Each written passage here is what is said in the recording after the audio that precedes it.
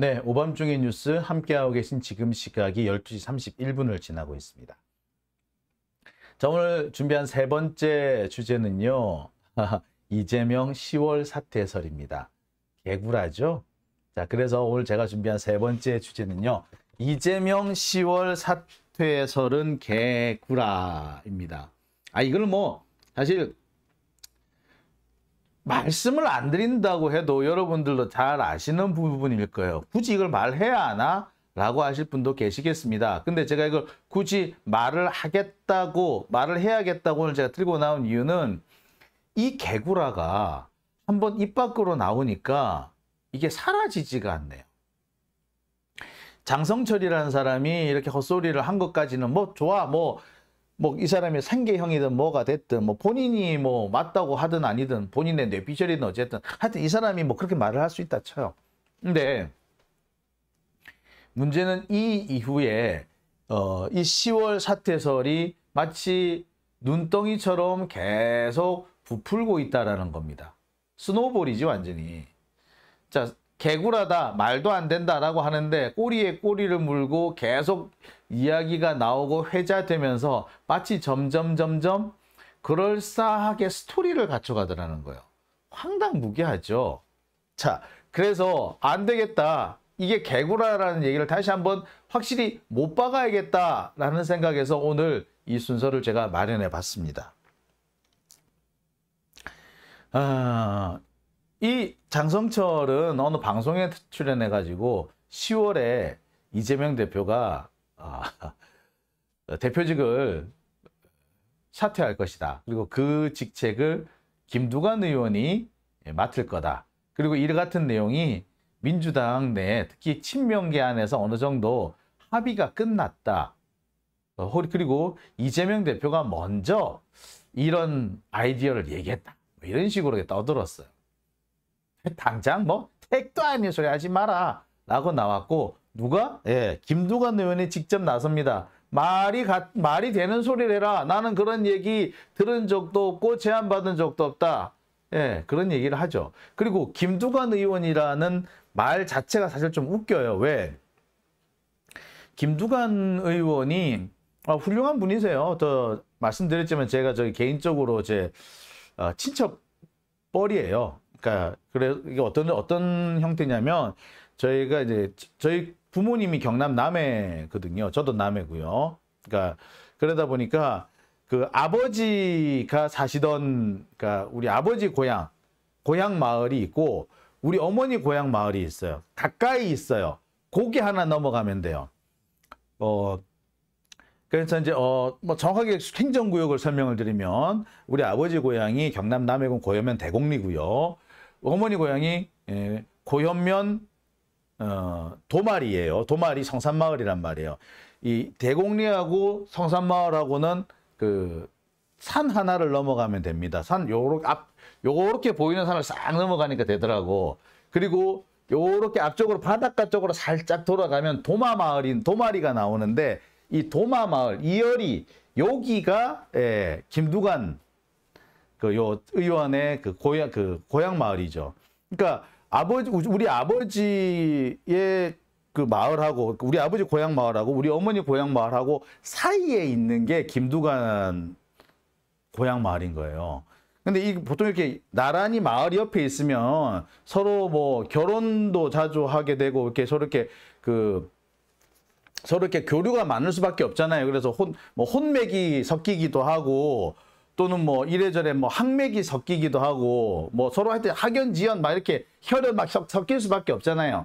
그래서 실제로 보면은 어 제가 어디 친척집 뭐 결혼식에 갔더니 그 김두관 의원의 뭐 동생이 뭐 그쪽 그 사돈으로 와 있는 경우도 있고 뭐 되게 복잡해요. 하여튼 좀 친척 관계예요. 자, 그래서 제가 굳이 김두관 의원을 나쁘게 말하고 싶지는 않습니다. 하지만 김두관 의원 솔직히 에, 이 진보 진영, 진보 그룹 안에서 그닥 어, 인정받는 분은 아니죠. 그리고 이 김두관 의원의 이 시서 시각이 제가 볼 때 좀 조금 어, 안 좋아요. 특히 그 추미애 장관에 대해 추미애 장관에 대해서 이렇게 비판을 할 때 뭐 세 가지 똥볼을 찼다, 뭐 세 가지 뭐그 정무적 실수를 했다고 하는데 뭐 그 중에 한 가지 뭐가 있냐면 윤석열을 키워줬다, 뭐 윤석열에 대해서 징계를 하는 바람에 윤석열을 키워줬다 이런 얘기를 하더라고. 그건 말도 안 되는 얘기죠.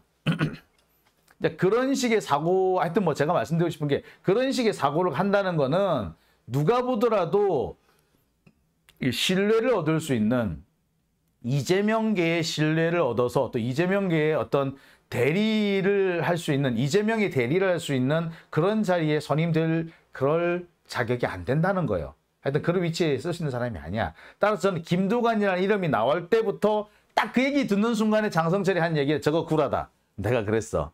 김두관이 왜그 자리에 가니?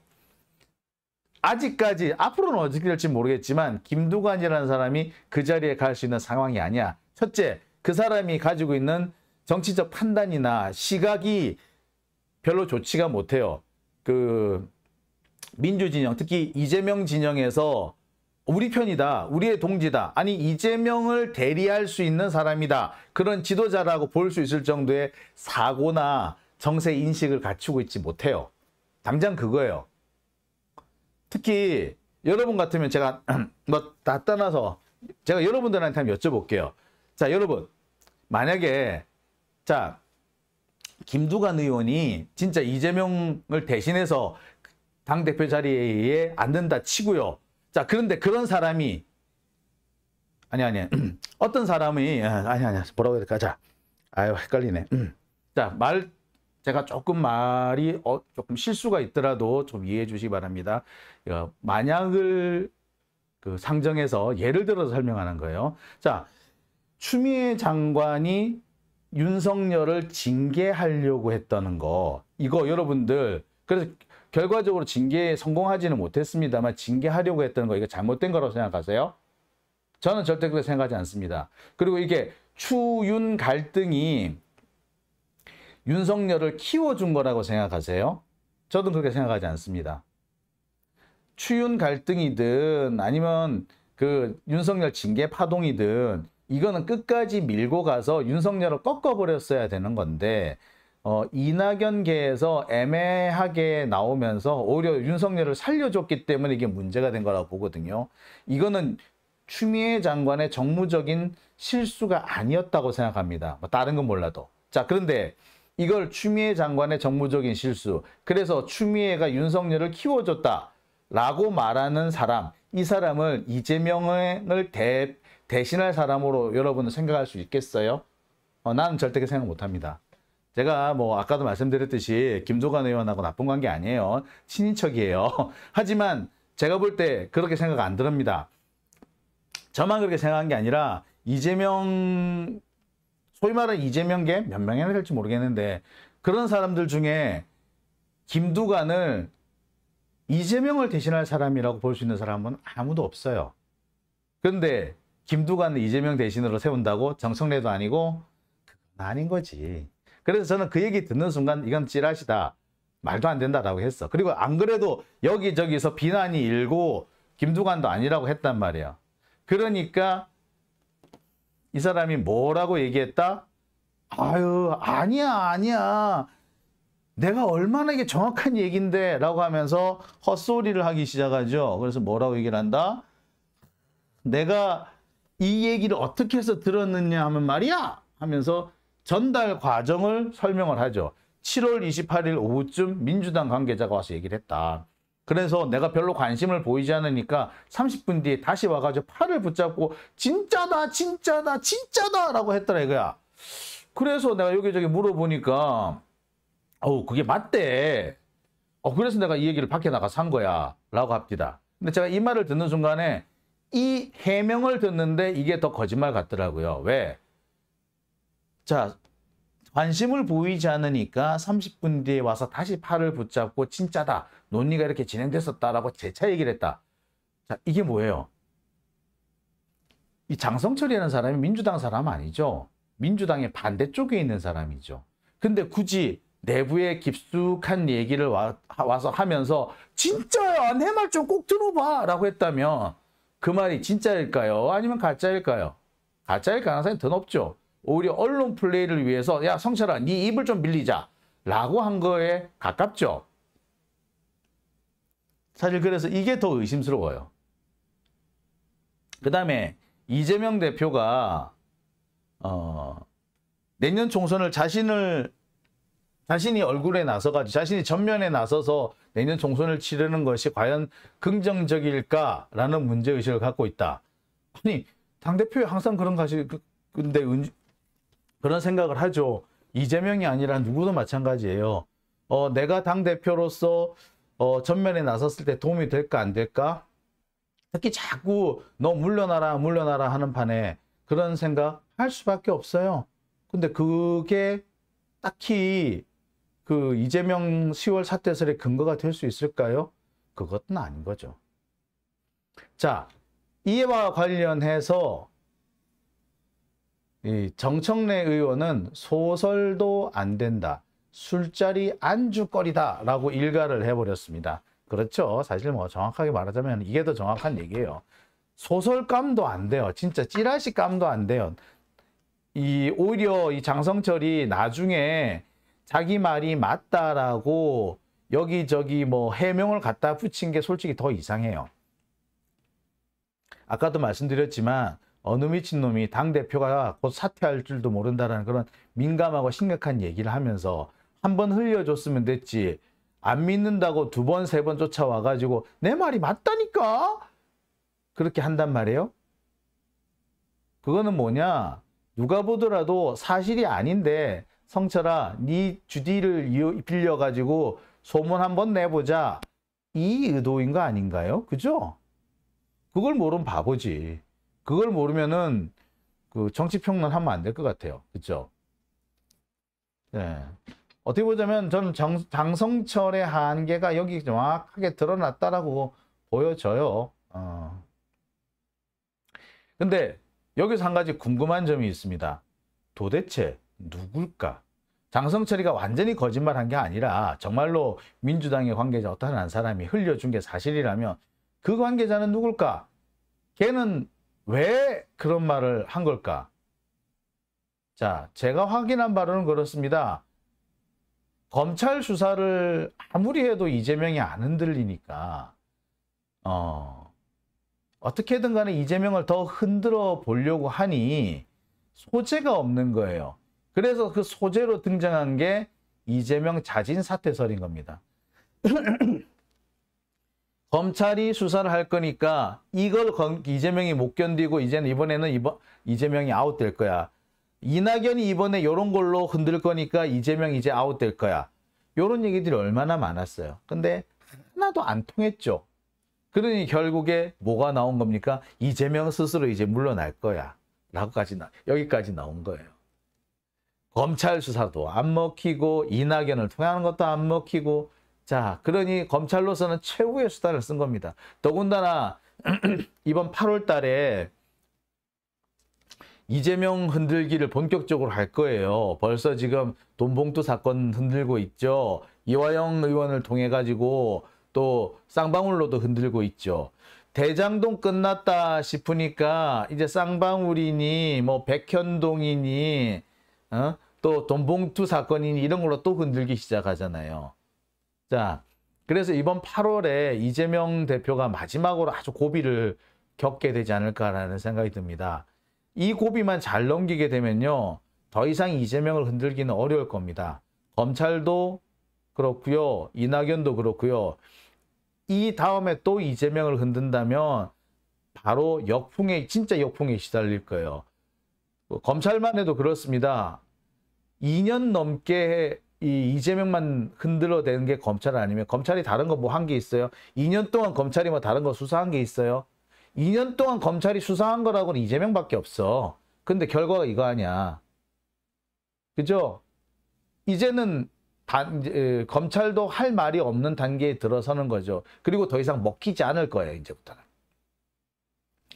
자, 그래서 이 8월이 마지막 고비인 겁니다. 근데 마지막 고비를 넘어가려고 하는데 방법이 없네. 이 뭔가 분위기 파악을, 분위기 조성을 하나 더 해줘야 되는데, 야, 이낙연 쪽에서 좀 나서줘야 되는데 별로 이제 안 먹혀. 그러니까 나오는 게 10월 자진 사퇴설인 거예요. 아유 10월에 자진 사퇴할 거 9월에 아시지 뭐 이런 식으로 하겠다는 거예요. 검찰로서는 이게 마지막 고비이니까 마지막 고비에 마지막 허튼 소작, 수, 수작을 더 부려보는 겁니다. 아마 이런 수작은 총선까지 계속 될지도 몰라요. 어, 뭐 윤관석, 이성만 다음에 이재명이다. 뭐 앞으로 백현동이다. 뭐 이제 곧 뭐 또뭐 추석 전에 영장이 청구될 거다. 계속해서 검찰은 위기감을 고조시킬 겁니다. 검찰 입장에서는 여기서 밀리면은 좆된다라고 하고 있거든요. 그러면서 검찰이 지금 위기감을 느끼는 가장 큰 이유는 다음 대통령으로 이재명이 되면 검찰은 죽는다라는 생각을 하고 있기 때문에 그래서 그래요. 어, 검찰은요, 이낙연이 대통령이 되면은 검찰이 더 잘 살 거라고 생각한답니다. 어, 한동훈이 되는 것보다 이낙연이 되는 게 더 좋다라고 말하는 검사들도 있대요. 네, 정말 그 얘기도 깜짝 놀랐습니다. 한동훈이 되는 것보다 이제 이낙연이 되면 더 좋대. 왜? 한동훈은 지 사람만 챙길 거래. 그러니까 지 밑에 있던 애들만 큰다는 거야. 그래서 한동훈 밑에서 뭐 부장하고 뭐 막내 검사하고 했던 애들 다 성장할 거래. 하지만 한동훈 외에 다른 애들은 다 죽을 거래. 기분 그러니까 한동훈만 좋고 한동훈 떨거지만 좋고 나머지는 하나도 안 좋다는 거예요. 하지만 이낙연이 되면 검사들이 고르게 좋을 거래. 그래서 검사들 중에서는 이낙연이 되기를 바란다. 아, 한동훈보다 이낙연이 좋다 라는 얘기를 하는 검사들까지 있답니다. 자, 이런 상황이면 검찰은 딱 한 명만 죽이면 되네. 그지? 이재명만 죽이면 되네. 올인을 할 거예요. 어, 그게 총선까지 계속 될 겁니다. 근데 총선 직전까지 계속 수사를 하기는 어렵죠. 어, 또 요걸 뭐 이제 수사를 오히려 지금 같은 경우는 그래요. 총선 직전까지 계속 이재명을 건드리면 건드릴수록 오히려 민주 진영의 이 단합도가 그 결집도가 커질 겁니다. 그리고 총선에 가까워질수록 검찰이 그 검찰의 행동은 이낙연계를 더 앞뭐 음, 궁지로 몰고 가게 될 가능성이 큽니다. 총선이 다가왔잖아요. 근데 이재명에 대해서 이렇게 목을 조르는 수사를 계속 한다. 그러면 오히려 민주 진영을 결집을 하게 될 겁니다. 자, 그런데 이 상황에서 이낙연계가 어깃장을 놓아봐. 죽어. 얘는 죽어요. 진짜로 죽어. 만약에 예를 들어서 해봅시다. 내년 1월쯤에 1월쯤에 검찰이 이재명 대표에 대한 이렇게 뭐 대대적인 어, 압박에 들어간다, 뭐 영장을 청구하네, 만에 이런 일을 한다고 쳐보세요. 자, 그러면 어떻게 될 것 같습니까? 민주진영 총단결일 거예요. 그러면서 진짜 예, 그 서초동 가서 시위하고 난리가 날 겁니다. 진짜 무슨 일이 일어날지 몰라요. 분위기 되게 험악할 거예요. 자, 그 상황에서 검찰 아니 판사가 영장을 내주기도 뭐하고 이재명한테 불리한 판결을 하기도 뭐해요. 잘못하면 판사 지들이 위험할 수도 있겠다. 두들겨 맞을 수도 있겠구나. 네, 법원이 박살날 수가 있겠구나. 검사 때문에. 라는 그런 두려움을 느낄 겁니다. 따라서 그때쯤에는 해봤자 소용없어요. 그런데 그 무렵에 이낙연계가 이재명을 비난하는 입장을 냈다. 만약에 이원욱이 그런 짓을 했다. 그럼 어떻게 될 것 같습니까? 예. 아마 그럴걸요. 뭐 저 같은 사람이든 누구가 하나가 나 이원욱 표적 이원욱을 낙선시키기 위해서 내가 그 지역구에 내가 가겠다. 요렇게 하는 사람 나오지 않겠어요? 민주진영에서 이원욱을 낙선시키자. 이원욱을 뭐 내본 그 낙선시키기 위해서 그 지역구에 우리 출마하자. 이런 얘기 나오지 나오지 말란 보장 없어요. 그죠? 따라서 이낙연계도 그때쯤 되면은 행동을 못 할 겁니다. 즉, 어, 이런저런 것들을 다 고려해 볼 때 이번 8월 달이 검찰로서는 거의 마지막 대공세가 될 거라고 저는 보여집니다. 아, 장희용님, 낙지가 대통, 우액! 이라고 하셨는데, 아니, 된다는 게 아니고요. 어, 검사들 중에 그런 얘기 하는 검사가 있다고요. 아니 왜 제가 그런 얘기를 한다고 생각하세요? 예. 이낙연이 종로 출마 못할 겁니다. 예. 거기 종로 출마하게 되면요, 어, 우리 그 그 우리 저 노무현 대통령 그 사위 있죠? 예. 그분하고 경선을 거쳐야 될 겁니다. 자, 오밤중의 뉴스. 오늘은 제가 여기까지만 하겠습니다.